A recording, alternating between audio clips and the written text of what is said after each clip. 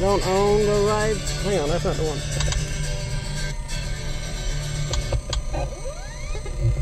This one. I definitely don't own the rights to that song.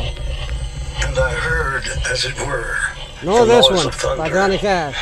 one of the four beasts saying, Come and see. But that is scripture saw of the Almighty and behold, Yahuwah. A white horse.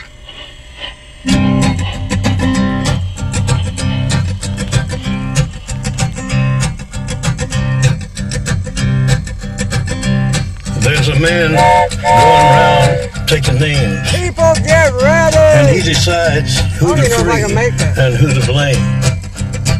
What y'all think? Everybody won't be treated all the same. gonna be smart. There'll be a- golden ladder reaching down.